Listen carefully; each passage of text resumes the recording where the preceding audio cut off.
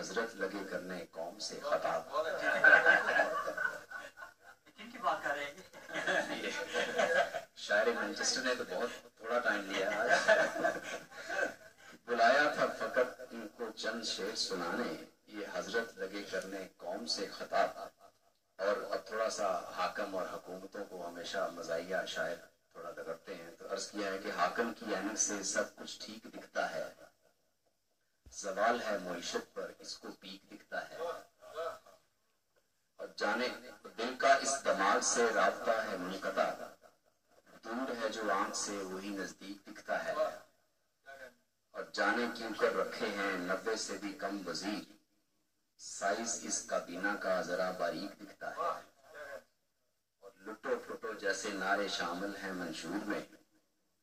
लुटो फुटो जैसे नारे शामिल हैं मंशूर में।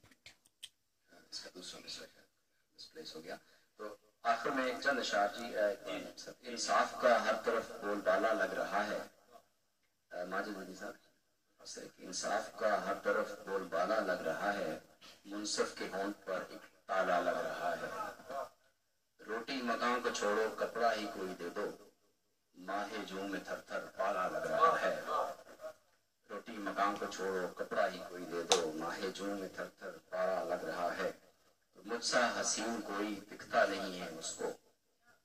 आँखों में उसकी कोई जाला लग रहा है। मुझसा हसीन कोई दिखता नहीं है उसको। आँखों में उसकी कोई जाला लग रहा है। छोटे मकान की छत पर डाकू चढ़े हुए हैं। छोटे मकान की छत पर डाकू चढ़े हुए हैं। बाहर जो खड़ा है घर वाला लग रहा है।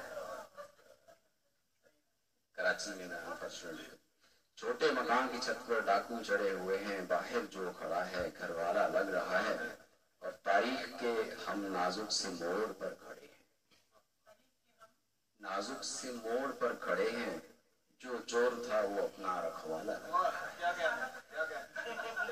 जो चोर था वो अपना रखवाला लग रहा है। इंसाफ का हर तरफ़ बोलबाला लग रहा है। मुनसब के होंठ पर एक पाला लग रहा है। एक ताला लग